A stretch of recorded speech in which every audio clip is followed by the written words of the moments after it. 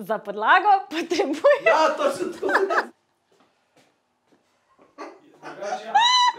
Ne morem se spomniti, kaj moram povedati. Se vidimo naslednji mesec, pozabila sem.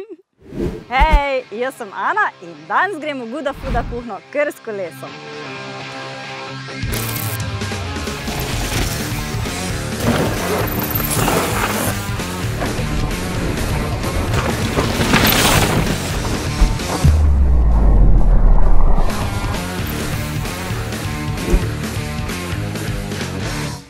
No, zdaj vam bom pokazala, kako dobiti energijo za tako vožnjo.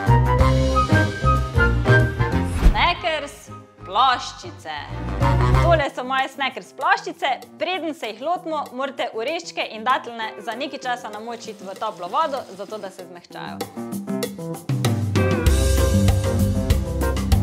Tole je seznam sestavin, ki jih potrebujete. Za podlago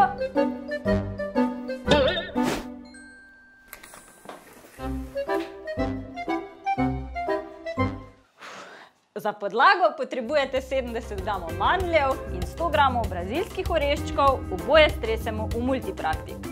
Dodamo še 65 g dateljnov, 110 g kokosove moke, 2 žlici javorjevega siropa in 3 žlice kokosovega olja.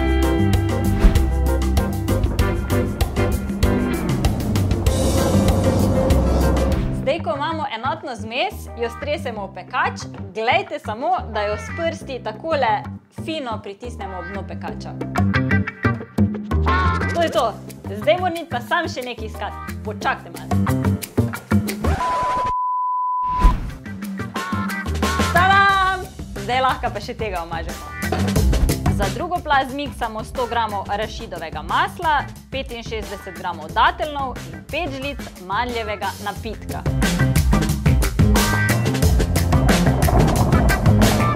Tako, zdaj pa ponovimo vajo od prej. Maso enakomerno razporedimo po podlagi.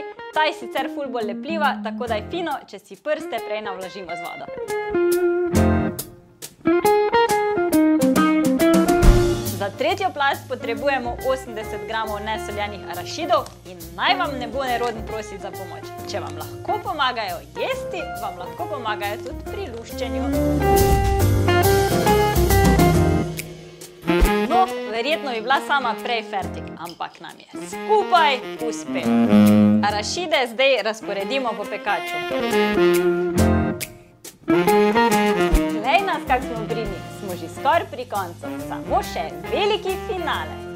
Za preliv lahko izberete 100 g katerekoli čokolade in jo stopite na vodni sopari ali pa uporabite mikrovlnovno pečico. Dodate 3 žlice kokosovega olja, dobro premešate in jo prelijete čez ploščice.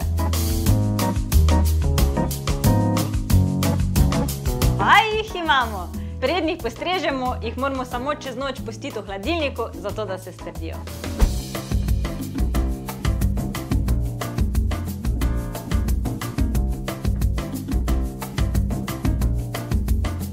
To je bilo to, Sneakers ploščice za hitre nogice. Hvala vsem, ki ste ostali do konca videa, če želite pa še več mojih videov, pa itak veste, kaj morate narediti. Like pa subscribe. Se vidimo naslednji mesec. Čau!